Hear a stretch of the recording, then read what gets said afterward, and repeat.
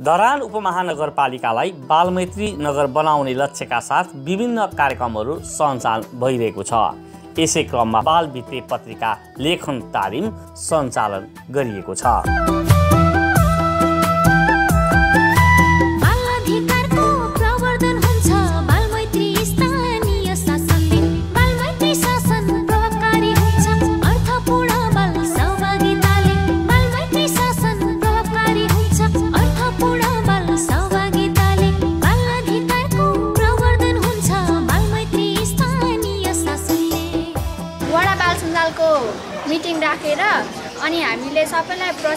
सहजीकरण गरेर हामीले चाहिँ एउटा वडा स्तरीय पत्रिका निकाल्ने निर्णय गरेको छौँ। निश्चित ठाउँमा एउटा कोठा खोजेर अनि त्यसलाई चाहिँ सुरक्षित गरेर अनि बेल बिहान निकाल्ने अनि बेलुका चाहिँ कोठाभित्र लगेर राख्ने। तालिममा धरानका तत्कालीन सत्ताइसवटाका दुई दुईजना बाल प्रतिनिधि गरी जम्मा चौवन्नजना बालबालिका र सामाजिक परिचालकहरूको पनि सहभागिता रहेको छ।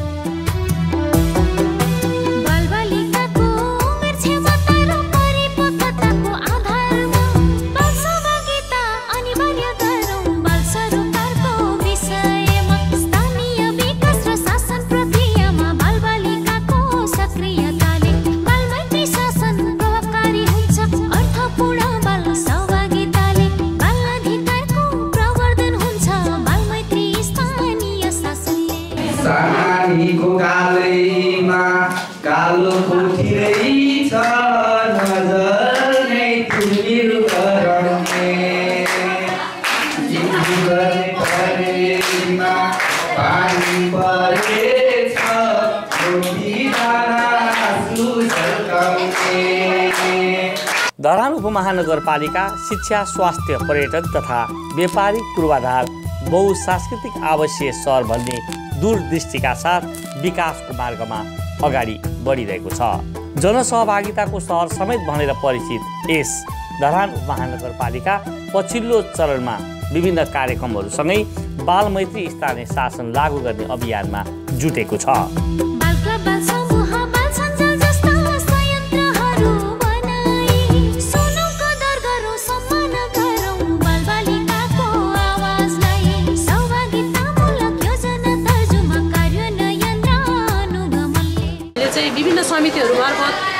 कि हाम्रो बालमैत्री स्थानीय शासनका वडा समितिहरू गठन भएका छन् बाल संरक्षण समितिहरू गठन भएका छन् प्रत्येक वडामा चाहिँ बाल सञ्जालहरू छन् नगरमा चाहिँ नगर बाल सञ्जाल छ।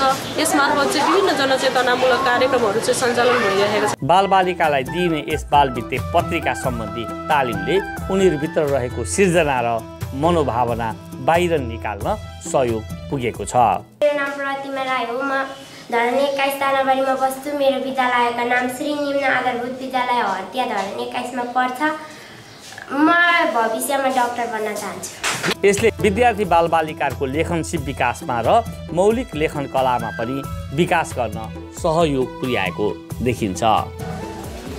कोही साथी राम्रो हुन्छ भने कोही चाहिँ नराम्रो कोही साथी राम्रो हुन्छ भने कोही चाहिँ नराम्रो राम्रो साथीलाई बनाउनु पर्छ हाम्रो।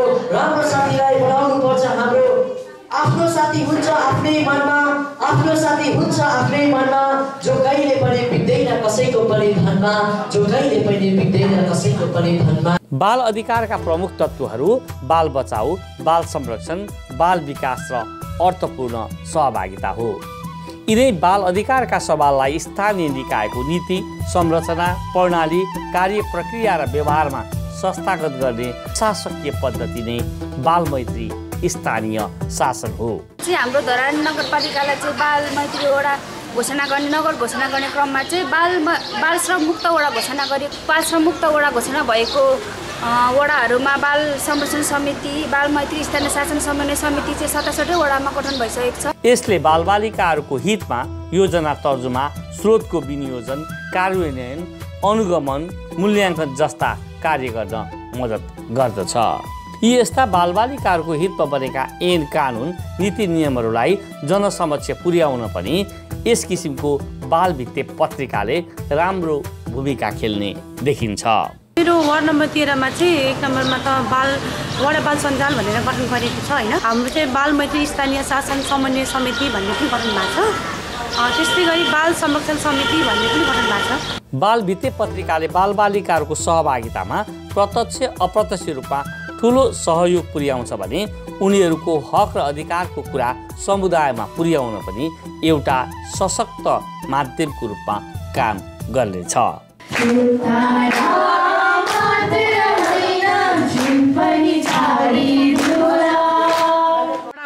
वडा बाल सञ्जाल गठन गरेर वडाका भाइ बहिनीहरूलाई वडा भेला गरेर उहाँबाट उहाँहरूको आफ्नो योजनाहरू छनौट गरी हामीले चाहिँ यो छनौट गरेको योजनाहरू हामीले नगरमा पठायौँ र नेपाल सरकार सङ्घीय मामिला तथा स्थानीय विकास मन्त्रालयको राष्ट्रिय रणनीति दुई हजार अडसट्ठी अनुरूप स्थानीय बाल मैत्री स्थानीय शासनलाई स्वास्थ्यगत गर्न धरान उपमहानगरपालिकाले रणनीतिक योजना बनाएर विभिन्न कार्यक्रमहरू पनि सञ्चालन गरिरहेको छ।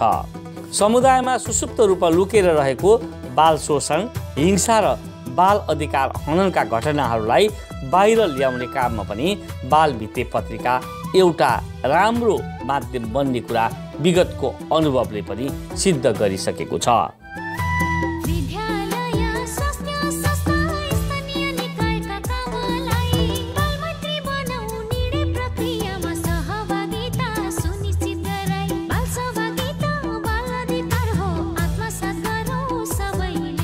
नगरपालिकाले विगतमा हामीले यो संरचना तयार गर्ने काममा अलि बढी समय लगाएका छौँ जसले गर्दाखेरि हामीले बालमैत्री स्थानीय शासनका हरेक वडामा समितिहरू बनाएका छौँ।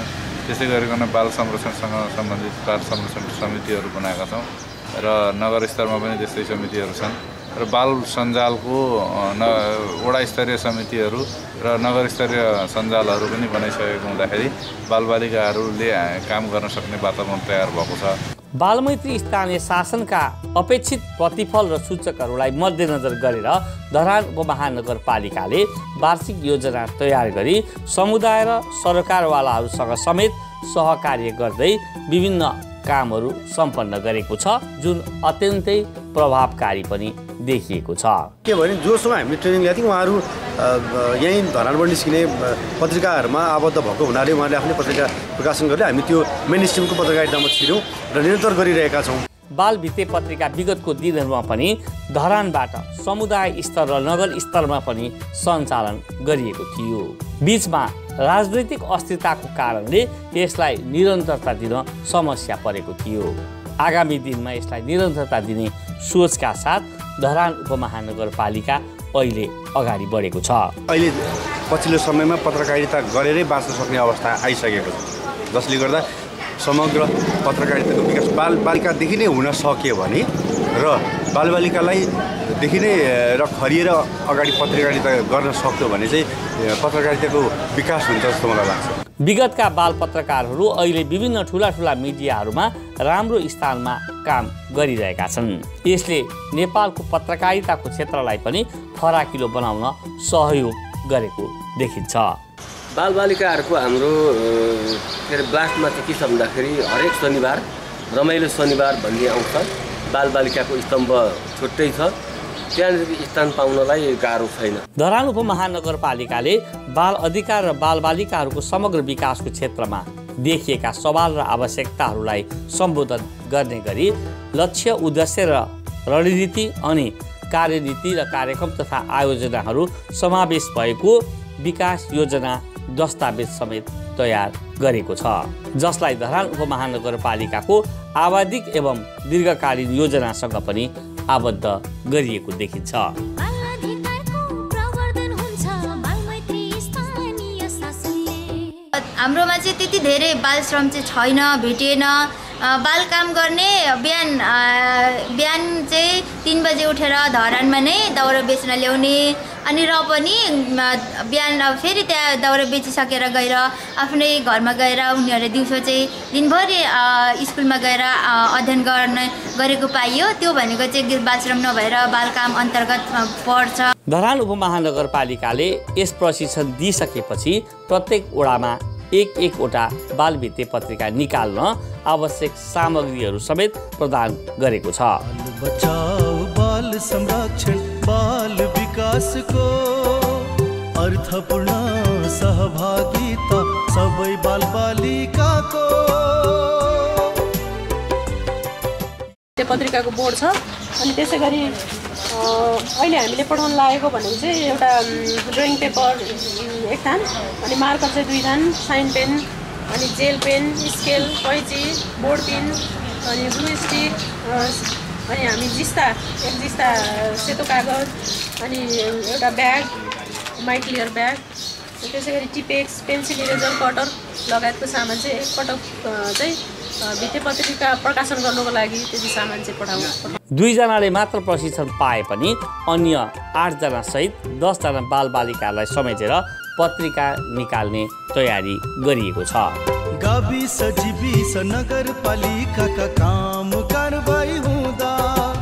आवधिक वार्षिक योजना रणनीति कार्यक्रम बनाउँदा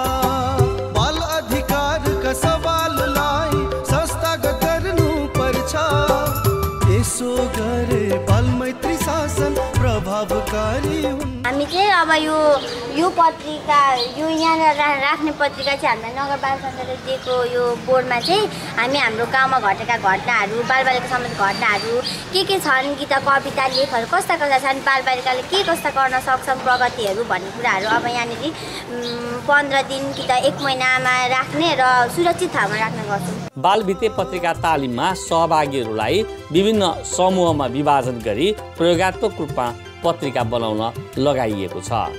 जसमा प्रथम हुने समूहलाई हौसला स्वरूप पुरस्कारको व्यवस्था गरिएको छ। स्थानीय निकायको संरचना कार्यविधि र प्रक्रियामा कार्य सञ्चालनका सिद्धान्त र